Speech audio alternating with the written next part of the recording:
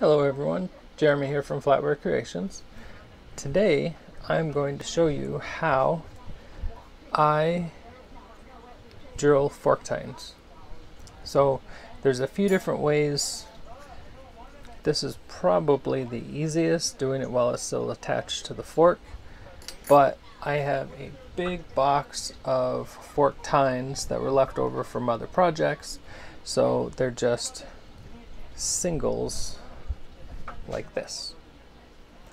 So what I'm going to show you today is what I do to get my fork tines ready for uh, bells or any other thing that you want them for, earrings that you need to drill a hole.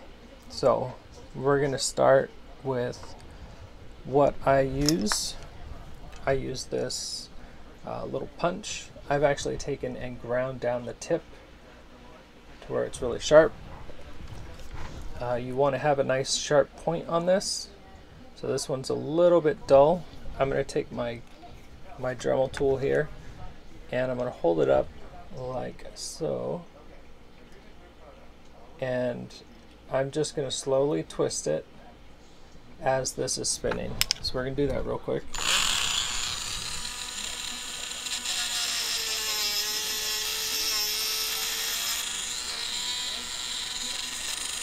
Almost there.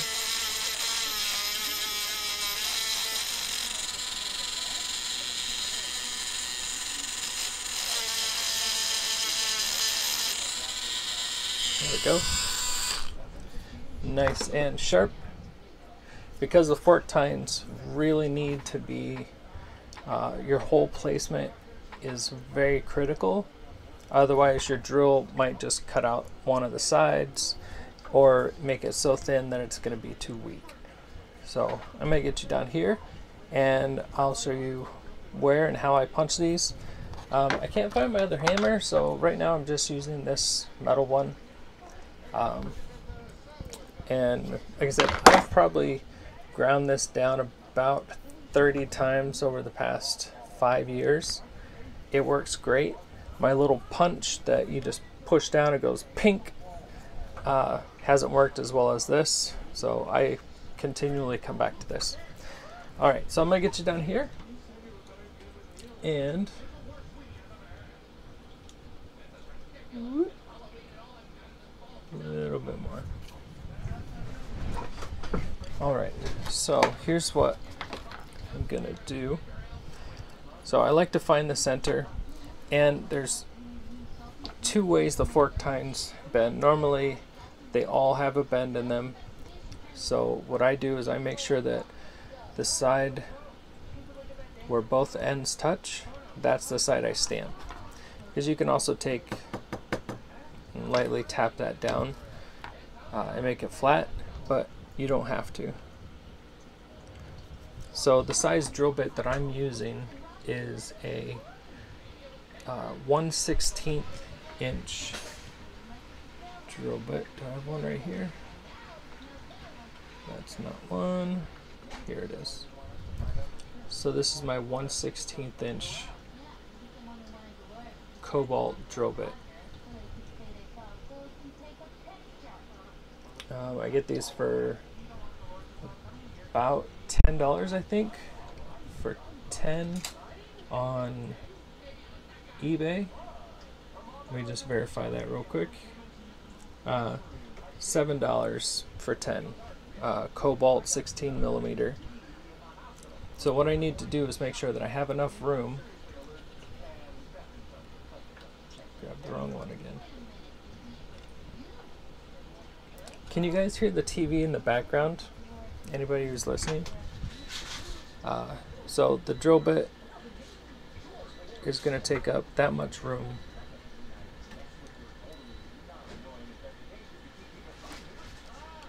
Trying me get you down here.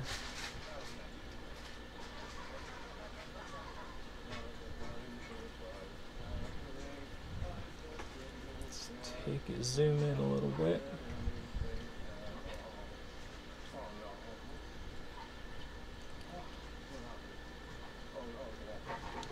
Come on. There we go. So we've got our drill bit that's going to take up that much room. You want to remember that you're also going to be trimming this up. Are you okay? Uh, you're going to be trimming this all up whenever you sand it down. So make sure you leave it a little bit more room. If you get too close, you're not going to have enough room to do that. You can hear the TV in the background.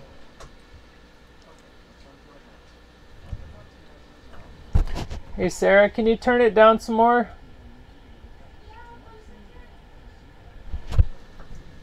I don't want to get copyrighted. Get my video deleted. So whenever we're doing this, we want to make sure that we have enough room here to do our um, to do our trimming after. Just gonna put it there and we're gonna give it a nice smack. You generally get one chance with these. Let me block the light out a little bit. Cool. Wrong way. Everything's backwards, Jeremy. So that's where my hole's at. Go to the next one. This one has most of the silver plate off. The other important part here is you want to make sure that you're going straight up and down. You don't want to be coming at an angle because your drill bit's going to follow that angle. So straight up and down. I'm showing you these little guys also because they get used for earrings a lot. And I have to hold on to those a different way. I have to use a tool to hold on to them. I shake really a lot. So what I do is I brace things a lot. So I'll put my pinky on here. I've got my thumb. I use my pinky to hold the piece and I'm able to take out all the shake. So if you shake a lot, you'll be able to do this just by having some sort of anchor point. Okay, you see this guy is upside down? That's what I was talking about. You want to flip it over to where both sides are down. Just gonna give a little tap.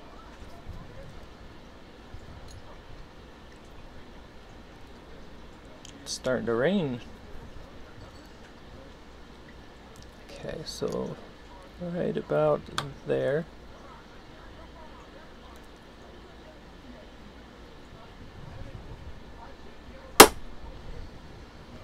go. And the easiest way to do them, if you know that you're going to be using, uh, I don't think there's a link for the punch. Um, I will try and add it afterwards. Um, yeah, that's a good idea. Let me write that down. In giant Sharpie giant Sharpie. Add hole punch.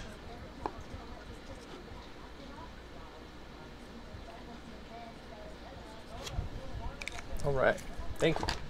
Yeah, I'll get that added right after I get this done. So we have our full fork here. Whenever it's like this, I like to go down the same way, the ends touching, so you get a nice flat thing. You can go here, um, but I like to go this way, and I always start with the center tine because it's going to drop down. Go to the next one. And remember, you're wanting to keep these in the middle and keep your your piece going in the direction, your punch going in the direction you want the drill to go.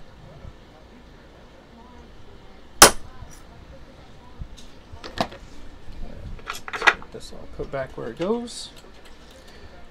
So we've got our dots here. There we go. So I'm gonna move you guys to the vise because I haven't got my shop set up quite yet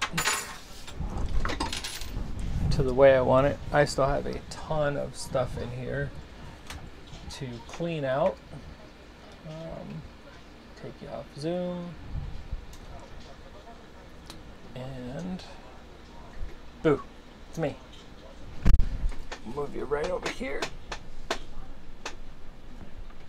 Come on.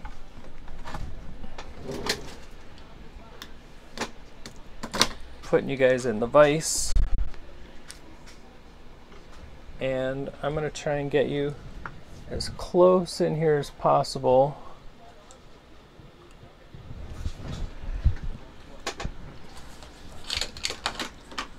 And zoom you in.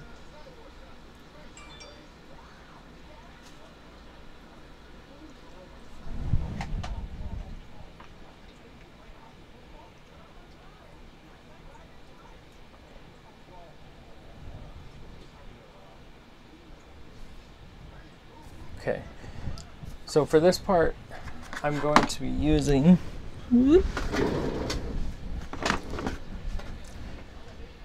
Flat nose pliers. Just the squared off ones. You can also use your uh, needle nose. Your needle nose or your flat pliers. So depending on if, if you're okay with putting some marks on them, this guy, I generally use this. It keeps the less least amount of marks. Alright, let's get going on here. Oh, I'm also using I'm also using beeswax as my lube. Oop. a long time ago, I got a one pound block of beeswax, and these are just pieces I chipped off of it. That one block has lasted me years, and I still have 90% of the block left. Uh, so one of those will last you a long time. I know that you can get uh, wax blocks at like Hobby Lobby or uh, Michael's. So, that's what I use. You can also use candles, oils, all kinds of stuff. But I like the wax. It works really good. We are going to be using a 1 16th inch bit. Um, I think those are down in the description. Um, from Amazon. It's one of the affiliate links. Um, you can also get them on eBay. Uh, they come in little packs of 10 and sometimes they break easy, sometimes they don't. This one I've had in here I've been using for about half a year, which is crazy. Um, but and then sometimes I'll put in one and it will just pink break the first or second hole. Um, so, but this one's going good and I will keep that going. So let me shrink this down and we'll start drilling some holes. There. So you can also see that I've switched. I have different holes in my piece of aluminum here. So this is the hole that I normally use it allows me to put a piece of silverware on here and I can drill and the silverware still stays over here so I'm not sinking down into the wood or down into the hole. Because we're doing fork tines, I've got this down into a tiny hole and this goes right down into the middle of that hole. Because we're so small of an item, we need that that little space so that we don't um, have to fight with the piece um, folding down into the uh, the hole. So got my beeswax. Just look behind me, make sure I got everything for you guys. Okay, start up the drill. Beeswax. I like to hold my finger as close as I can without getting it too hot. Line up my mark, so I've got it started. Just a nice, easy pull down. Once you start feeling it not go down as fast, go ahead and wax it up.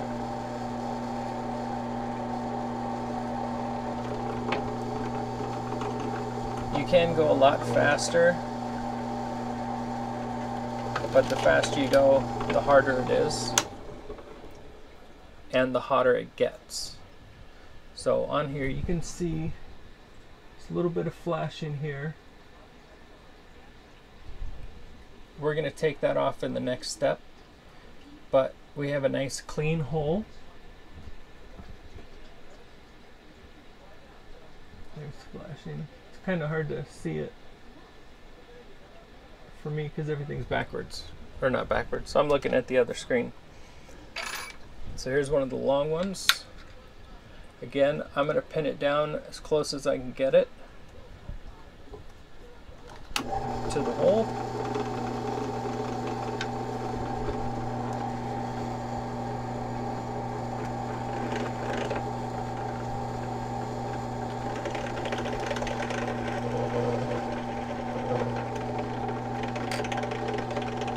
And you can kind of see if it's turning on you.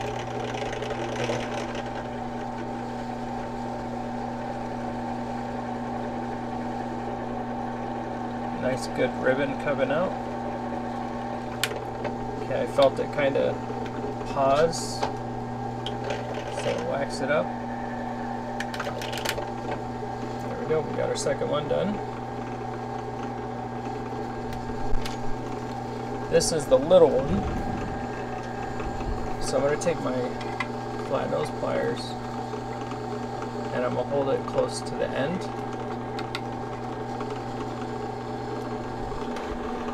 Normally I have some more room here.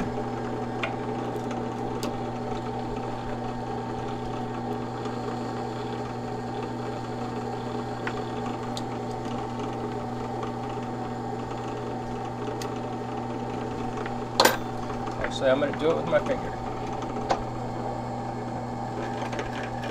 So I got the hole started. Keep going with this. And, and you can definitely feel it whenever it stops. So right now I feel it going through. It makes a big difference. So this one we're going to hold with the pliers because it's longer again, get our hole started where we want it.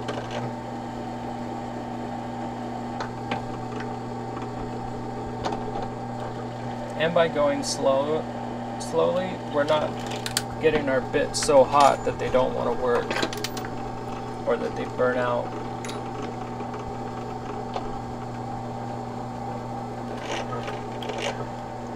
Okay. Here we go. And this one's a really soft one, so it went through really easy. So now we have our four, our fork tines all ready to go. Make sure you guys can see that.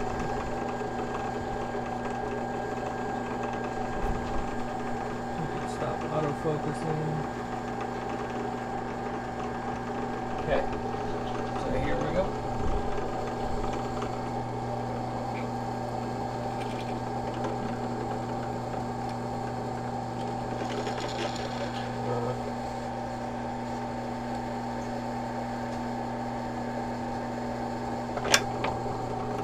Okay, I felt it stop. Next. lot of times when I hear that chipping sound, I'll make sure I lube up my bit. A lot of times that's from going too fast, in my experience.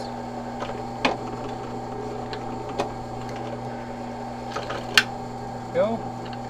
And last one.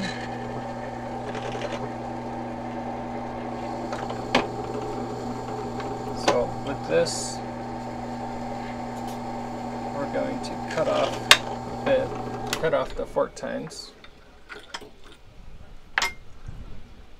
Hmm, over that way. So let's get all of our pieces here and get back over to the bench. Let me unzoom you so you don't get sick. Okay, here we go. Oops, sorry about that.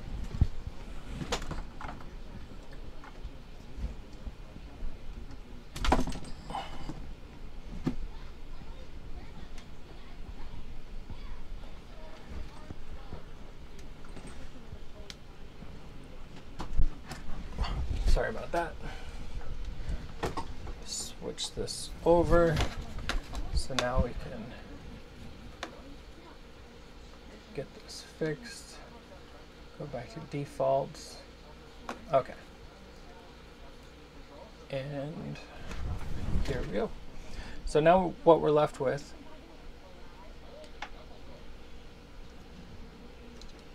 is our fork tines here.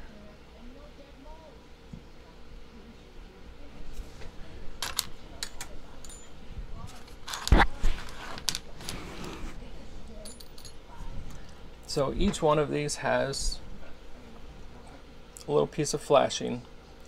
If your bit is dull, you'll see flashing on both sides. Let me zoom you in here. So this one doesn't have too much flashing on that side, but on the bottom, you can really see where the drill bit came through. So what we're going to do right now is use our Dremel tool. Uh, this is in the link down below, something similar. Um, it has different adjustments, but my favorite part about it is the quick change system.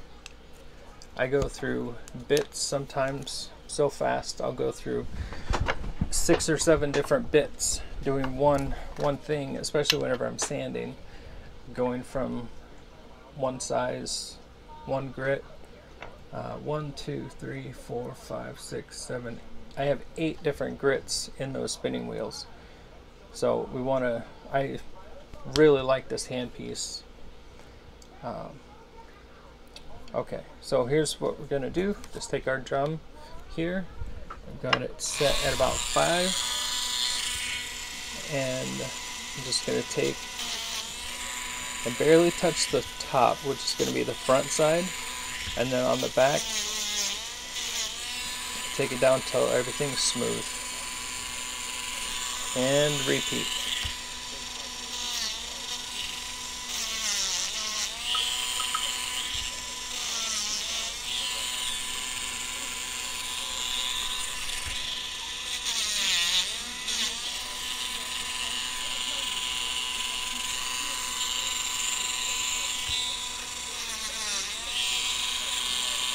and if it's really critical that you don't get any marks using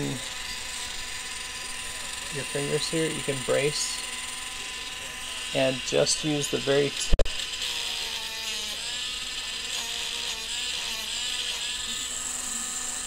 To get that. So you can see I barely even scraped up the front of that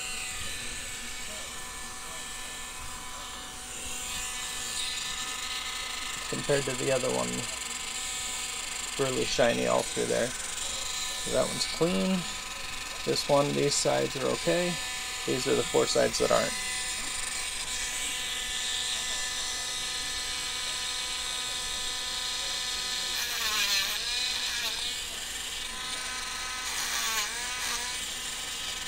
So I always do a finger check just to make sure there's nothing sharp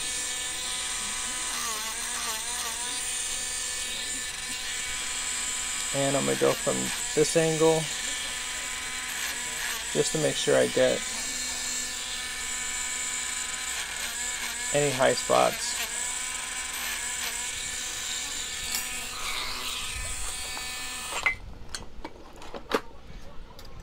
Alright, now we're going to cut these up. Okay, the zoom is out. I like to use my, uh, what are they, 14 inch uh, bolt cutters. here.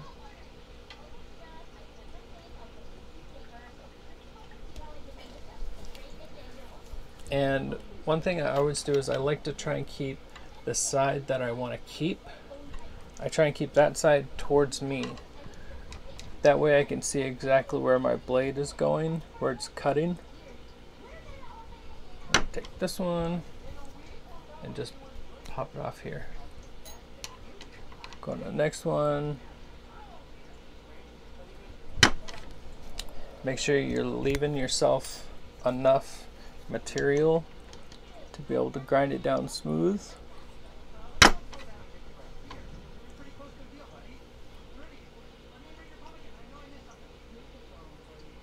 So you can kind of see where I'm cutting it off there.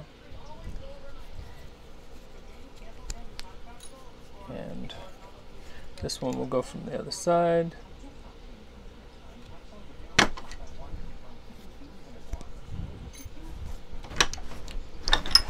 Done with that.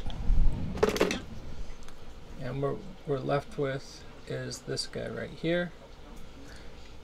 If you wanted to, what you can do is take off three of the tines leave the fourth one and you can make tiny little elephants that would work really well. Uh, leave a little bit more legs, but something you, you can make from this piece if you wanted to use every scrap and then these will normally become bracelet pieces or other earrings if there's any design on here. So nothing goes to waste. Put that in the bin. So what we're left with is a whole bunch of fork tines. Uh, because these are going in bells, no, what I'll do is I'm just going to take off the sharp edges. So I'm only going to do that on two and uh, we'll just use those two to make the bell or to show you the differences. So I'm to go with this guy.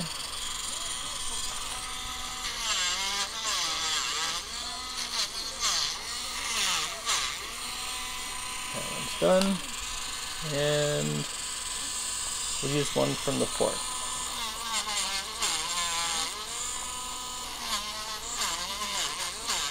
I'm just taking off the corners basically and rounding it out.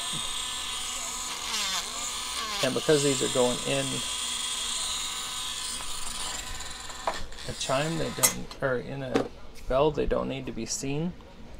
Um, another trick that I've done is taking a one millimeter or a 1 16th inch diamond bit and go through it with my other Dremel tool just to make sure there's no flashing or anything inside. So we're to put this guy back.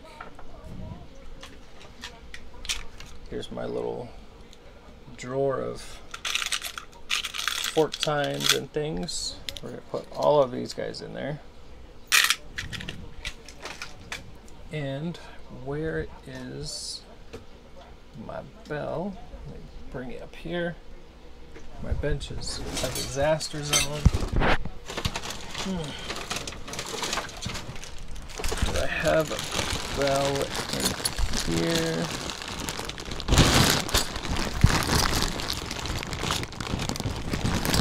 Refrigerator magnet.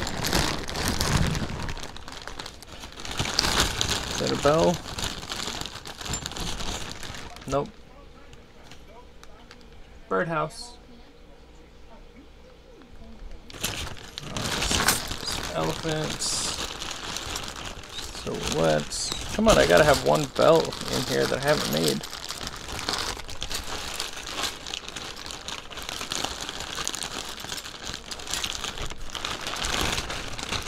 Sorry guys, I thought I was already set for this. Okay.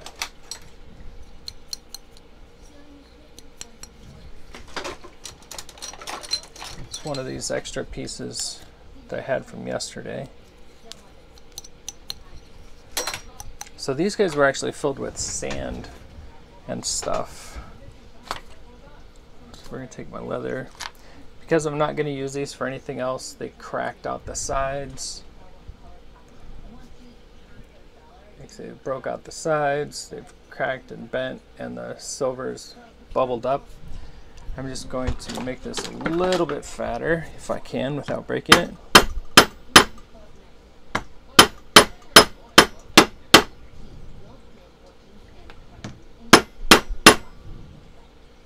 Okay.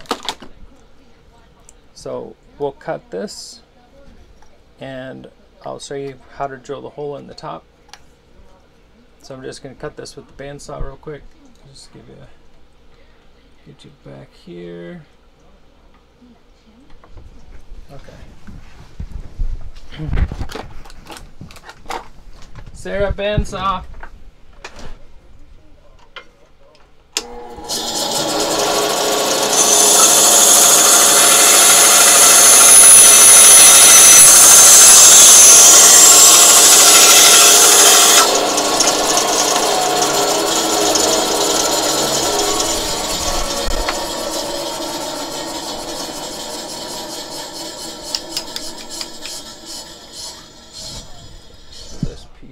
hot. Why isn't it focusing? Autofocus is on. There we go. So we've got our bell here.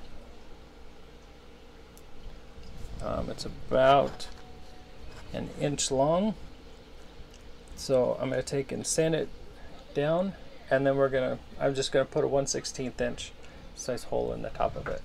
So the sander is over there.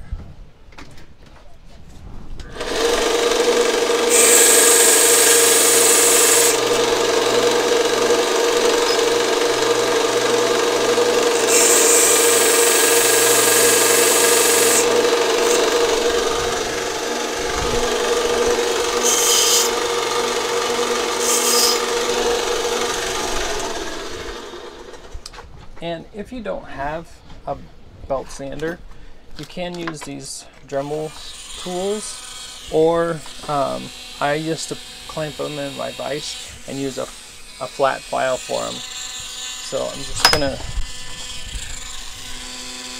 clean this guy up here just a little bit.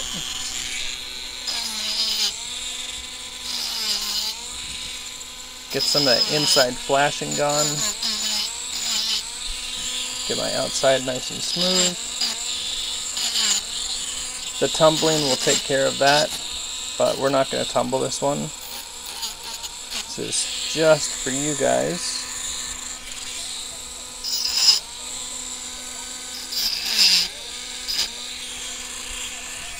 Okay. Just like with the fork tines, I'm going to tap a tiny hole with a tiny tap. Try and find dead center. These handles are normally so soft that if you hit them too hard, you can split them. So let's get you back up here. Focus. Okay, I'm gonna drill this. Gotta move my thing down.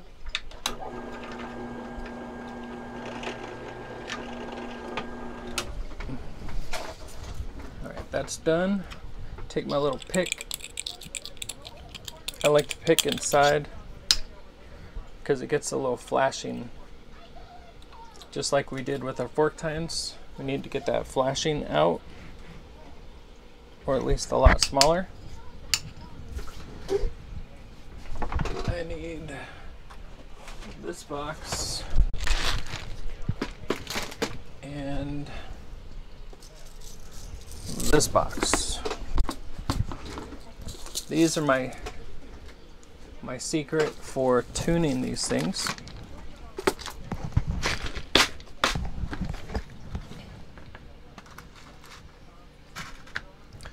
Actually, I have wire right there.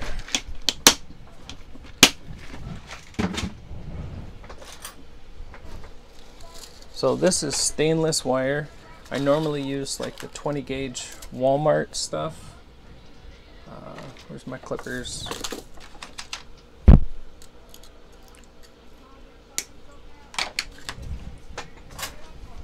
So here's what I do. I'm going to take my round nose pliers, get you guys down here. If you have any questions, please let me know.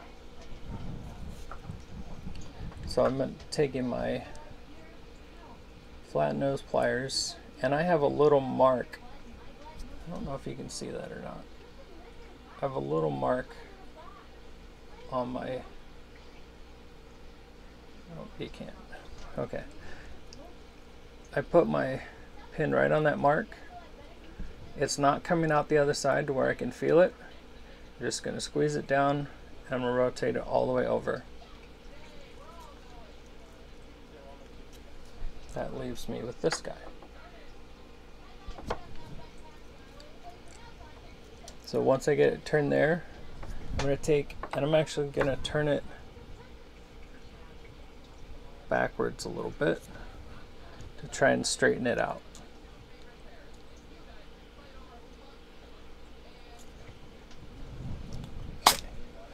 Let's get our fork tine in there.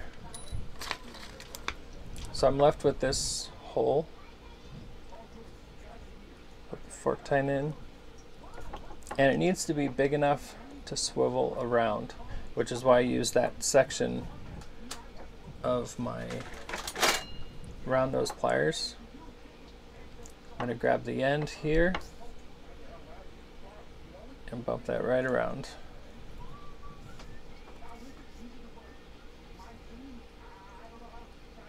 There you now you can see.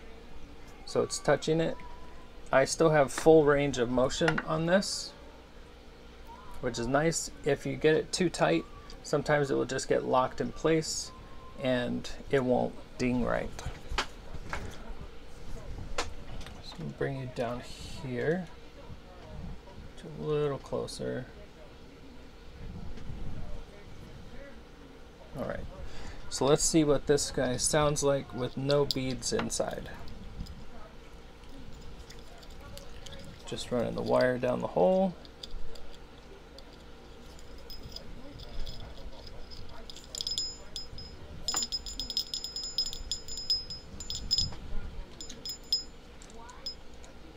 Try and get you guys to where you can hear it. Not a big fan of that. I don't like that. So I'm going to take these guys. And I normally use ones that I don't really ever use. So I'm going to use these little purple guys here.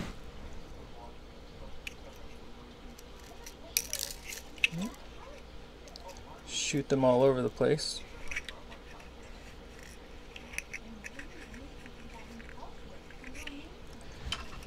And generally this will take two or three of these. So I'll just start with two.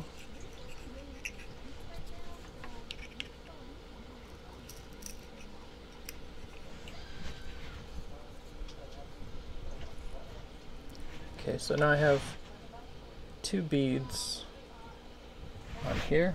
Let's put this back inside.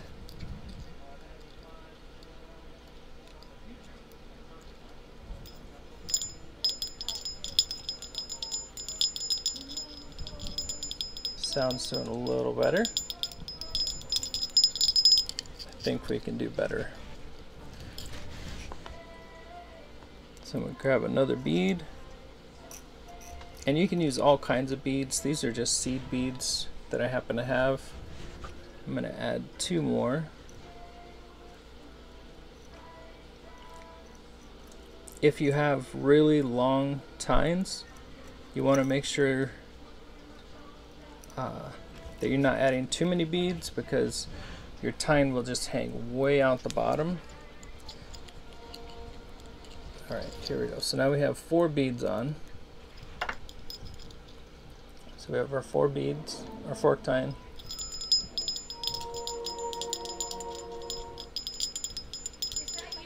Yep. Still sounding pretty good.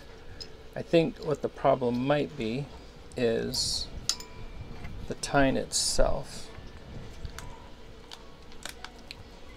Because the material that the, the uh, fork was made from. All those back. Where's my little guys?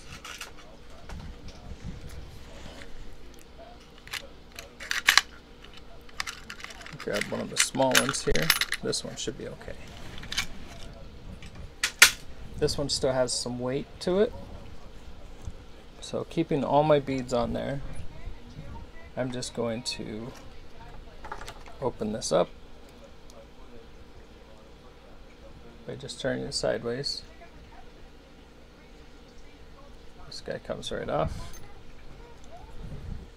But the other one, actually I need to clean that.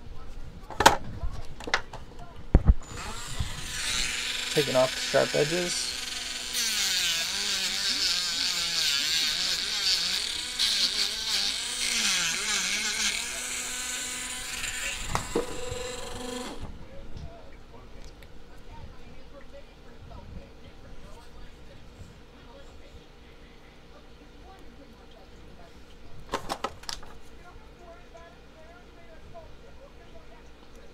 go. Starting with the four beads on there. This is where we're at. Let's put this through here.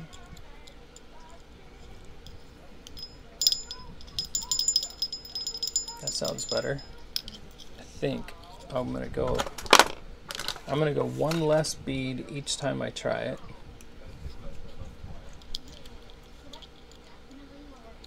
And the the knife handles definitely make a huge difference in this part. So that one sounds a lot better. I still have enough fork tine coming out to where you can tell it's fork tine, but that's so much better of a sound. And the difference was one little tiny, one little tiny seed bead. That's it. And from here, what you can do is add I got a thing right here. You can add all kinds of beads or charms. Um,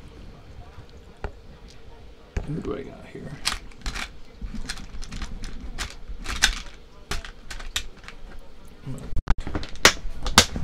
This guy on there. It's a little piece of little agate stuff.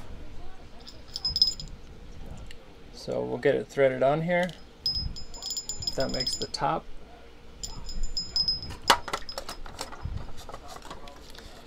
Whenever you do these in batches, they go really quickly, but you still have to take and tune each one, unless you get it right off the bat the first time. So I'm going to take my curved nose pliers here, these little guys. Another trick. The wire that you made has the loop going in a certain direction. Let's see if you guys can see that. If I turn this, hopefully you can see this piece turn. So this piece down here will turn if I turn it like this, I get that sound. If I turn it like this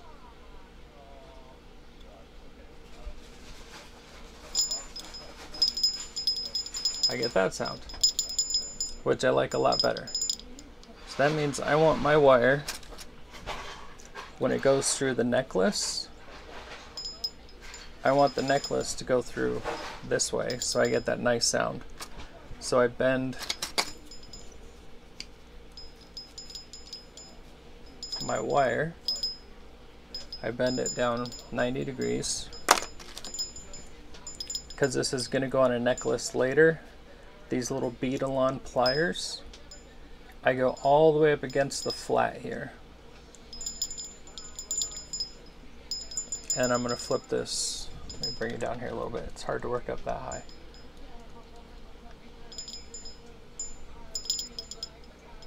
I'm going to flip this right around. Flip my pliers over. And then I'm going to twist it just a little bit and then pull this guy around. What that did was made my circle nice and big and straight up and down. put it back on here. I switch hands for this part. Grab my pliers, my needle nose here, and I just grab the end. I do have a measurement that I normally do that I don't have so much waste. But what I'm going to do is lift up, pull, and twist around. So the whole time I'm pulling it tight and I'm keeping it pulled up towards the front.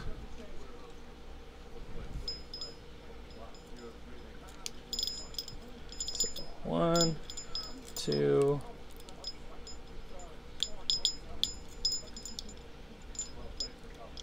overlap the other one. Get down there. Thank you. Alright, so there's three. Trim this off. Sorry about that.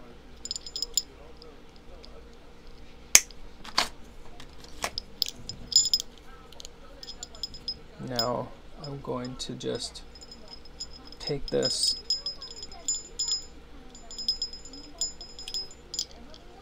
and flatten out the piece that was cut, flatten out my top piece,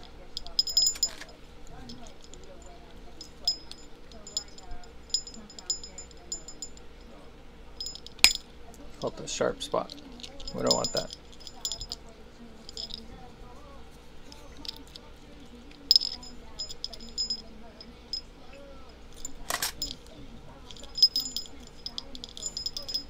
And there we go.